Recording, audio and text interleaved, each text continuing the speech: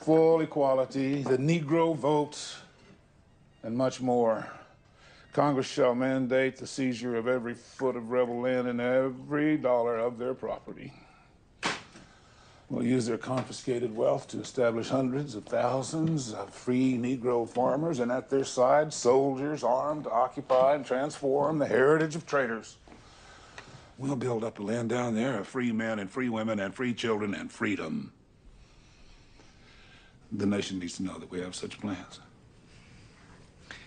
That's the untempered version of Reconstruction.